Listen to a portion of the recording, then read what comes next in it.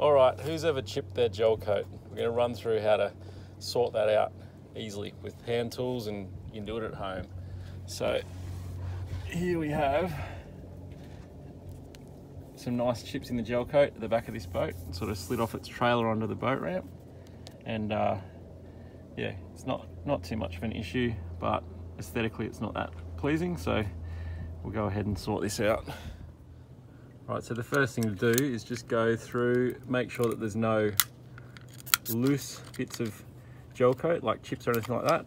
Make sure you yeah, clean off all of the loose bits that are going to fall off anyway. Um, and then we're going to go ahead and yeah, acetone with a paper towel this whole area. And then we can put some filler in. The reason you use a paper towel is to use a rag, the uh, acetone itself can break down the plastics in the rag and you can actually smear a coat of plastic on and then your gel coat's not going to stick. So paper towel's the way to go.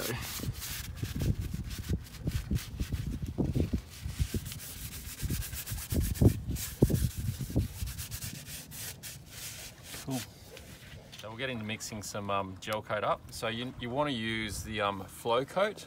So flow coat itself, um, white flow coat, flow coat itself has a wax in it and that means that it actually um, yeah, fully cures on the surface. If you use just a gel coat, it's always going to remain tacky. So you definitely need a flow coat. So what we're going to do is we're going to, because we've got some deeper chips here, we're going to actually add some Q-Cell, just a thickening um, little powder to the first lot that we put on, just to fill those up a bit. All right, I have to give that a stir.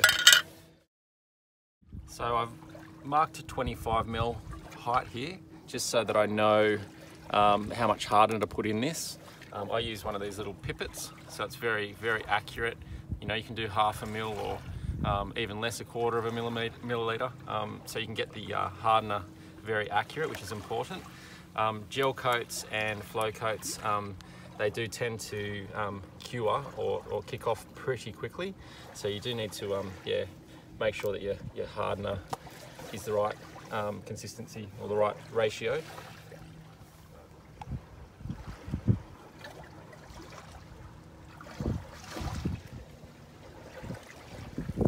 So I'm going to put some gloves on, check the old hands.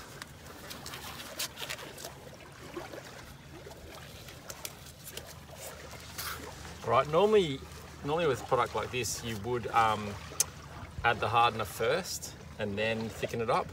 Um, but because this stuff kicks off so quickly sometimes, I'm actually going to put a bit of the uh, Q-Cell in before I put the hardener in, which will be fine. So I just actually just want to thicken that up a bit because it's quite viscous.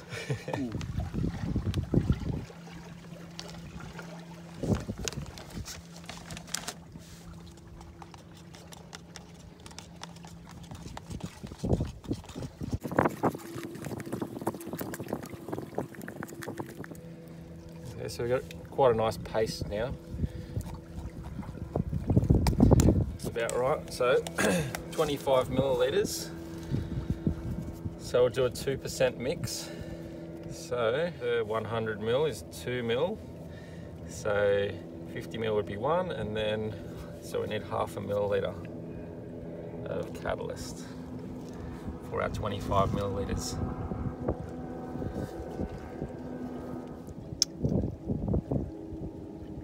So it's a very accurate way to measure with these. So we've got our half a mil there, and we'll get that in there.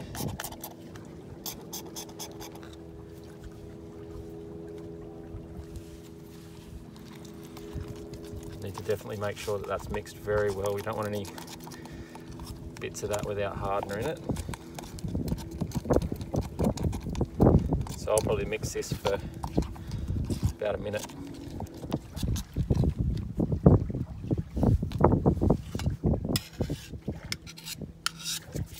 We've got a nice flow coat paste there now.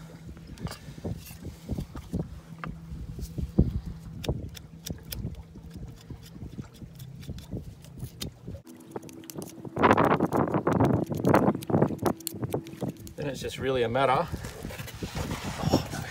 It's really just a matter of um, yeah, basically spatulaing that into the holes.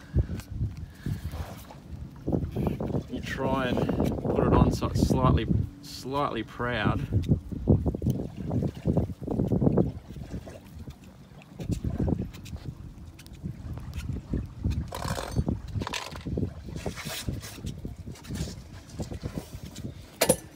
Make sure you really press it into the holes. Remember, you don't have to get it all in one go either.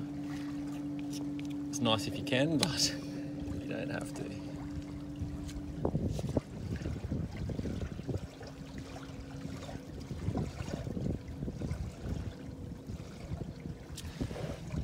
Looks pretty good to me. So we'll just clean up our tools now with some acetone.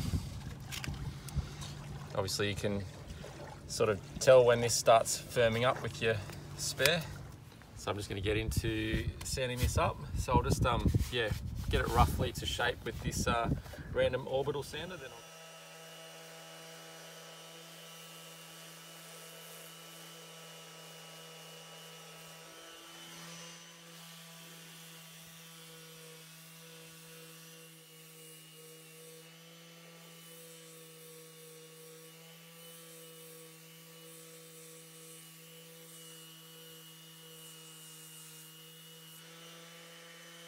All right, now that that is sanded back to nearly where we want to be with the power tool, um, I'm just going to use a yeah, block and some wet and dry sandpaper.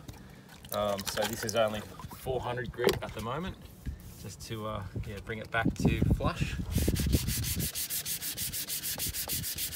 with the original gel coat.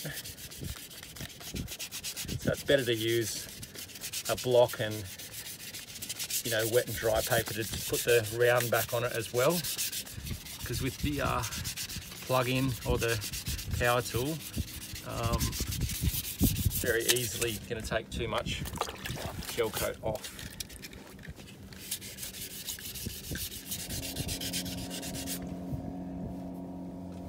The bottom.